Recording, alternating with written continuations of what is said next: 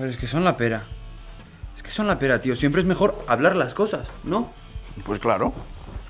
Bueno, mira, que hagan lo que quieran. Yo no, no quiero imponer nada a nadie. Yo tampoco quiero que nadie imponga nada a nadie. Ba begira, Pablo, horrezegatik, nik hemendik aurrera euskaraz hitz egingo dizut, bale? Zuk nahi duzun bezala egin. Arrazoia. Ulertzen dizute.